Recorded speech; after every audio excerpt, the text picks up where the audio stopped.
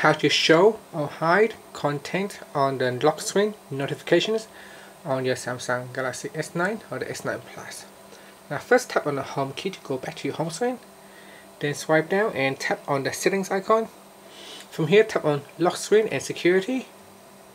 Next go down and tap on notifications and then tap on hide content uh, button to show or hide content. You can see a preview right here at the top